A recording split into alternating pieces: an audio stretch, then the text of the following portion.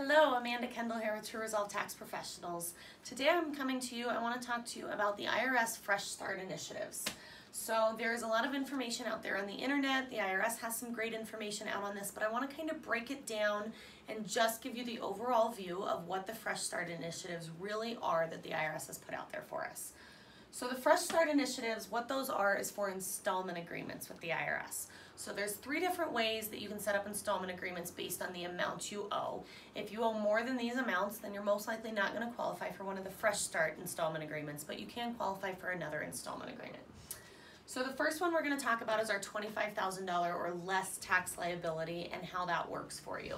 So with the $25,000 tax liability, you can do an installment agreement over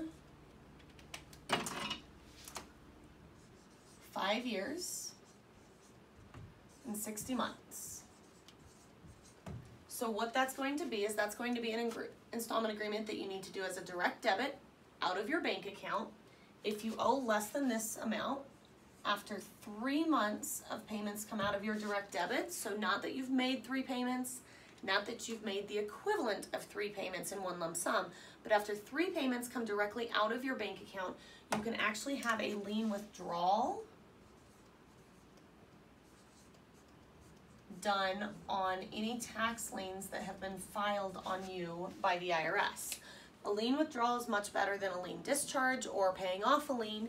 This actually allows you to provide this to the credit bureaus and have it removed from your credit report as if it was filed in error and it should have never been there. So if your credit is an issue with the IRS tax lien, this is a great way to go if you owe less than $25,000. The other option we have is our $50,000 or less tax liability.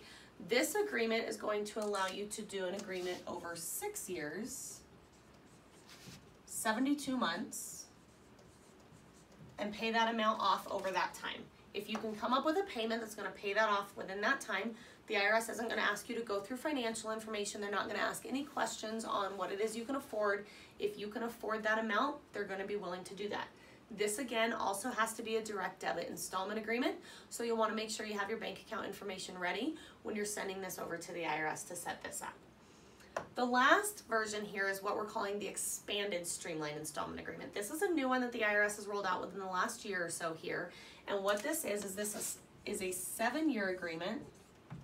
So over 84 months and allows you to make this payment over 84 months. Again, this is going to have to be a direct debit installment agreement. Direct debit installment agreements are all set up using Form 433D. So you're going to want to make sure you have that form that it's completed and filled out when you're calling the IRS to go over this. The only thing you're not going to want to fill out on this form ahead of time is going to be the dollar amount.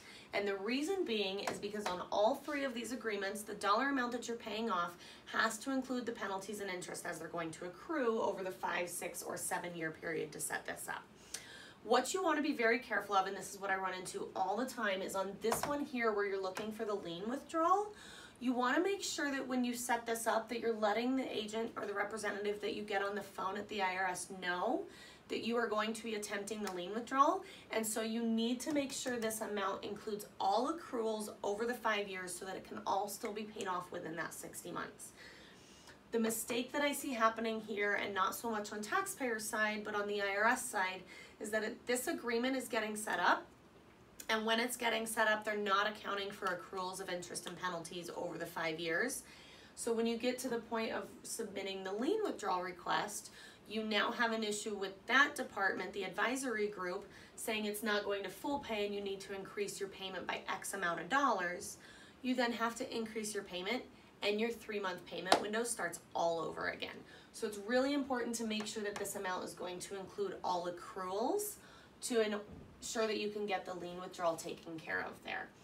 Um, a safe bet here is if you're able to on whatever they tell you this $25,000 is, whatever that installment agreement is, if you're able to bump that up by 50 to $75 a month from what they're asking for, you're gonna be pretty safe on this here when you get to that point of requesting that lien withdrawal. If you have questions on the lien withdrawal, I'll be doing another video on that and I will drop the link in the comments below so that you can access that one. Form 433D is a pretty simple form. I will also be doing a video on that one and drop the link for that in the comments below as well. so you'll have access on how to fill out both of those forms also. Other than that, if you have any questions on the IRS Fresh Start Initiative or you think you need some help working with the IRS, give my office a call. You can reach us at 720 319 8954 or you can reach out to us on the web at www.trueresolvetax.com. Again, my name is Amanda Kendall, and I hope that you found this information helpful today. Thank you.